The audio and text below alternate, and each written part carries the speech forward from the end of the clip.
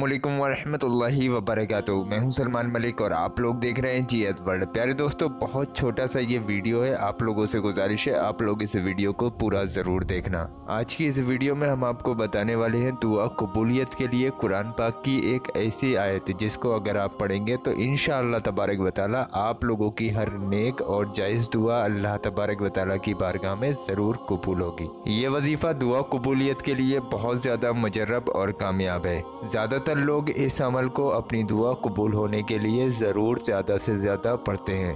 तो आप लोगों से गुजारिश है, कुरान पाक की ये आयत बहुत ज़्यादा पावरफुल है। अगर आपकी कोई हाजत है या आपकी कोई तमन्ना है या आपका कोई ऐसा काम है जो रुका पड़ा है, उसको आप पूरा करना चाहते हैं, हाजतों को पूरा करना चाहते हैं तो आप इस अमल को ज़रूर करें। आइए दोस्तों, सबसे पहले हम आपको बताते हैं इस अमल को करने का तरीका। इस वजीफे को करने का वक्त जो है वो ईशा की नमाज़ के बाद है। पहले आप ईशा की नमाज़ मुकम्मल तरीके से अदा करेंगे, उसके बाद आप लोग जहाँ नमाज़ पे बैठे बैठे इस अमल को करेंगे।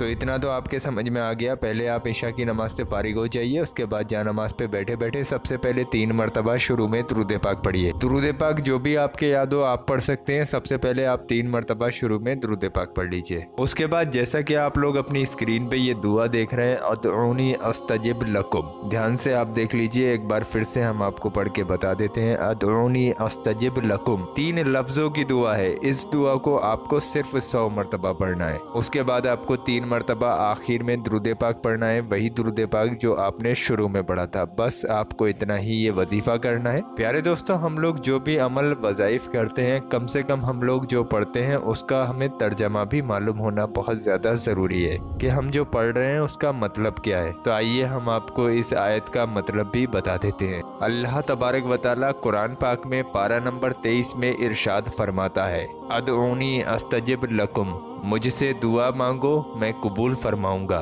मोहब्बत के साथ कमेंट बॉक्स में बोल दीजिए सुबहान अल्लाह तो प्यारे दोस्तों, इस वक्त आप लोगों के जहन में सिर्फ़ एक ही सवाल आता होगा कि हमें इस अमल को कितने दिन तक करना है? तो हम आपको बता दें, इस अमल को करने की मुद्दत, यानी कि इस अमल को करने का वक्त 21 दिन, यानी कि 21 डेज़ है। किस दिन तक आप लोग इस अमल को कीजिए इन तबारक वाली आप लोगों के हर बिगड़े काम बन जाएँगे। यकीन के साथ में आपको करना है, कलाम इलाही है, कुरान पाक की आयत है। बस ये यकीन रखें कि हम अपनी दुआ को कबूलियत के लिए इस अमल को कर रहे हैं। तो इन तबारक वाली ज़रूर आप लोगों की दुआएँ अल्लाह तबारक वाली की बारगाह में कबूल हो जाएँगी।